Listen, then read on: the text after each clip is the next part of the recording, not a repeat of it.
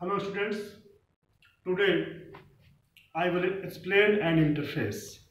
आज इंटरफेस के बारे में डिस्कस करेंगे कि इंटरफेस क्या होता है how to implement an interface कैसे इसको इम्प्लीमेंट करते हैं and what is the difference between abstract class and interface इससे पहले हमने एब्स्ट्रैक्ट क्लास के बारे में बताया था आप लोगों को। तो यहाँ पे देखते हैं कि इंटरफेस क्या है। तो interface is a collection of abstract methods and constant variables that one or more classes of the objects will be use clear interface के अंदर more than one abstract method होंगे और कॉन्स्टेंट वेरिएबल्स होंगे जिनको एक या एक से ज़्यादा क्लास पे ऑब्जेक्ट उनको यूज़ करेंगे अब आप इंटरफेस के अंदर जो मेथड्स होंगे, वो अब्स्ट्रैक्ट मेथड होंगे।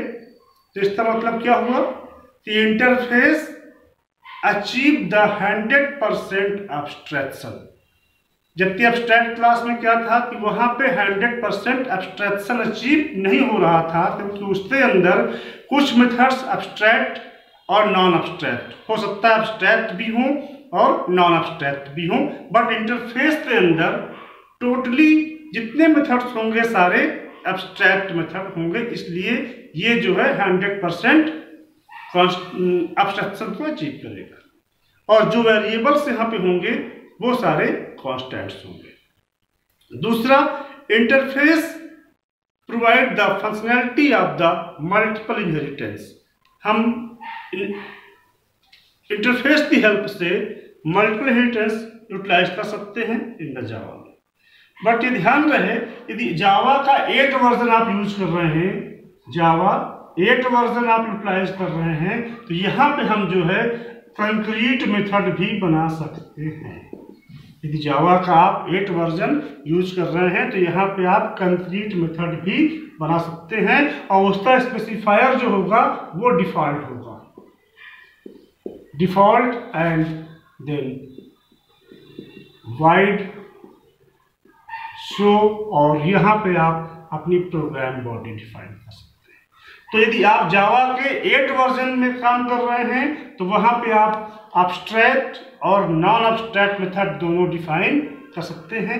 साथ में स्टैटिक मेथड भी आप डिफाइन कर सकते हैं बट ये जावा के एट वर्जन पे इम्प्लीमेंट होगा। और इसके जो पहले वर्जन थे, वहाँ पर इंटरफेस डिफिनेशन यही थी कि interface a collection of more than one abstract methods and constant variables that one or more classes of the object will be use ये इसकी डिफिनेशन इंटरफेस की। तो बट एट में आप पहुँचते हैं तो वहाँ पे ये आपका कंक्रीट मेथड आप डिज़ाइन कर सकते हैं।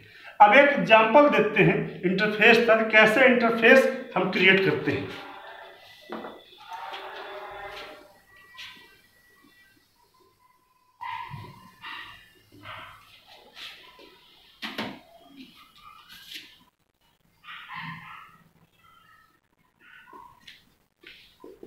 Interface and then interface name जिस नाम से आप इंटरफेस बनाना चाहते हैं। तो क्या हुआ यहाँ पे कि जिस नेम के पहले इंटरफेस कीवर्ड यूज़ हो गया, वो क्या हो गया आपका? इंटरफेस हो गया। जैसे जिस वर्ड के पहले अब्स्ट्रैक्ट लग गया मतलब कि वो अब्स्ट्रैक्ट हो गया। जिसके पहले सिंपल क्लास लिख दिया गया, वो क्लास हो गया। तो interface and then interface name curly brace open हुआ एंड मेथड नेम दिया कि वाइड एंड सो जैसे कि बताया आपको कि जो इसके मेथड्स होते हैं, वो 100 परसेंट अब्स्ट्रैक्ट होते हैं तो ये वाइड एंड शो बना दिया एंड इस मेथड से यहाँ बंद कर दिया। क्लास लिया class and then class name जिस नाम से आप क्लास बनाना चाहते हैं एंड देन इससे पता है आपको इनहेरिटेंस जब यूज़ करते थे तो वहाँ पे एक्सटेंस कीवर्ड का यूज़ करते थे उस क्लास को इनहेरिट करने के लिए। यहाँ पे क्या है?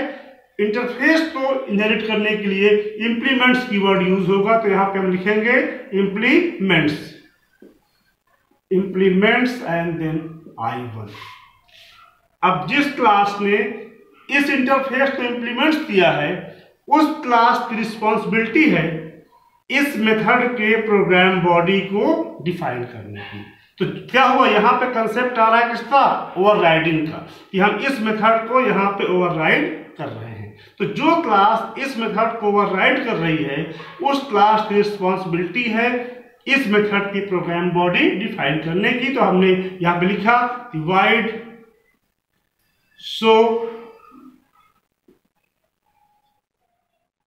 एक मैसेज दे दिया system dot out dot print L N method of interface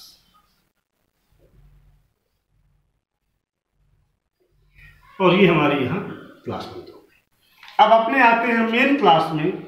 class में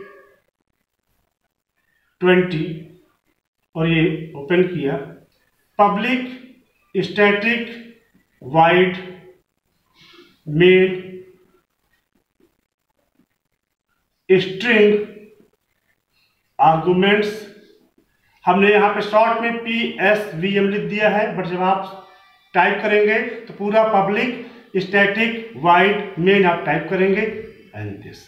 अब नीचे हमने इस क्लास का ऑब्जेक्ट क्रिएट किया C one O B equal to object name new C one and object name and call the method तो object dot show and this बंद हुआ हमारा नेम और बंद हुआ क्लास सेव किया प्रोग्राम को सी वन डॉट जावा नाम से. सॉरी मेन ट्वेंटी जावा से कंपाइल किया. क्या प्रोग्राम कंपाइल होगा? नहीं प्रोग्राम आपका कंपाइल नहीं होगा। क्योंकि यहाँ पे this is the abstract method आप यहाँ पर चाहे अब्स्ट्रैक्ट पब्लिक लिखें और चाहे ना लिखें, ये बाय डिफ़ॉल्ट अब्स्ट्रैक्ट है बाय डिफ़ॉल्ट ये पब्लिक है। बट यहाँ तो ये बाय डिफ़ॉल्ट पब्लिक है नहीं तो आपको यहाँ पे पब्लिक कीवर्ड का यूज़ करना होगा। अब यहाँ पब्लिक लिख दिया आपने, अब आपका प्रोग्राम कंपाइल हो जाएगा और एग्जीक्यूट भी हो जाएगा। समझ में आया कि जो इंटरफेस के मेथड्स होंगे, वो अब्स्ट्रैक्ट मेथड होंगे। अब यहाँ पे आप अब्स्ट्रैक्ट कीवर्ड का यूज़ करिए और चाहे ना करिए पब्लिक कीवर्ड का यूज़ करिए या ना करिए बाय डिफ़ॉल्ट अब्स्ट्रैक्ट है और पब्लिक है। पर जहाँ पे इसको आप इंप्लीमेंट कर रहे होंगे, जहाँ पे इस मेथड की प्रोग्राम बॉडी आप डिफाइन कर रहे होंगे, वहाँ पे आपको पब्लिक कीवर्ड यूज़ करना होगा। अदरवाइज़ प्रोग्राम आपका कंपाइल टाइम पे एरर देगा। तो ये हुआ कैसे हम मेथड को यहाँ यूटिलाइज करते हैं। इसी में देखते हैं, इसके वेरिएबल को यूज़ करना है तो वेरिएबल आप कैसे यहाँ पे यूज़ करेंगे। तो यहीं पे हम इसको चेंज कर देते थोड़ा सा हटा दे रहे हैं मेथड ये, और ये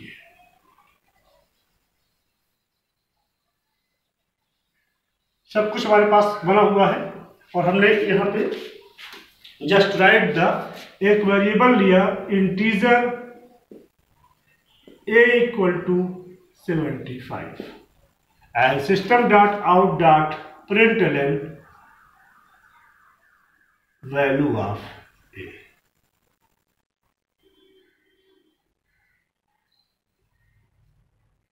ये बंद। बंद हुई है ऑब्जेक्ट बना हुआ है रन कराइए प्रोग्राम आपका कंपाइल हुआ और रन हो जाएगा।